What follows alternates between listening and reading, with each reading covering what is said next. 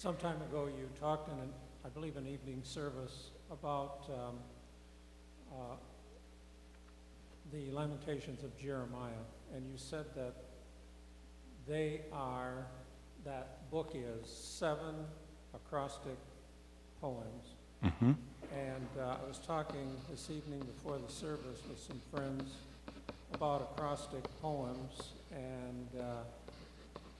mentioned Psalm 119, where every eight verses, I believe, it begins with a subsequent letter of the Jewish alphabet. When you were explaining Lamentations, you said that the seven fit together somehow, and I guess I dozed off during that time.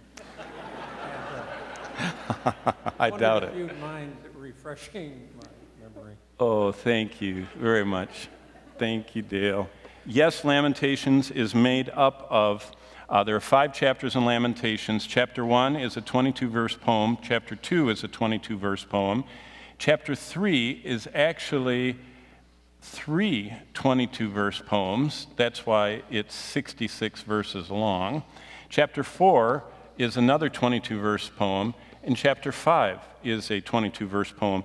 And if you notice, there's seven of them, and the book of, of uh, Lamentations is built much like a pyramid, um, with, with uh, the fourth poem as the pinnacle. And because Hebrew is written from, it's an Oriental language, not an Occidental language, because it's written from the right side of the page to the left and from the back of the book to the, the front, because of that, the very center of the whole book would be the 22nd verse, uh, I mean, the 23rd verse of the um, what, what we would call the third chapter, which is the fourth poem. So um, I'll go into that and draw it all out and talk about why Psalm 119 is what it is, because that, uh, Dale, is a very good question. I think that, that most of us don't uh, realize the lengths to which the Lord has gone to bring us His word.